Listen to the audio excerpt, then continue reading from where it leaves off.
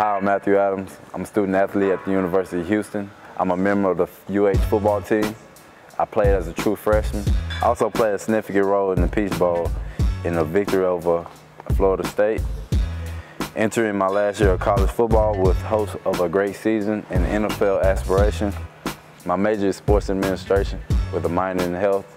I currently hold a 3.1 GPA. My expected graduation date is spring 20, 2018. Uh, my dream job is to be a head strength and conditioning coach at a major D1 university. I plan on starting that journey by interning under head coach Rob Grace and his strength staff Ron Dietrich and Chris Campbell. I am well trained and fit for this position. At quarterback of the defense at linebacker shows my leadership skills and my ability to work in team environment. Also being able to operate under heavy pressure to put the people around me in the best position that they can be in. Another personal accomplishment, I was voted Bruce Feldman, number 31 in college football, as top workout warrior with a bench press of 405, squat of 605, power clean of 375, and vertical jump of 36. So hire me to take your program to the next level.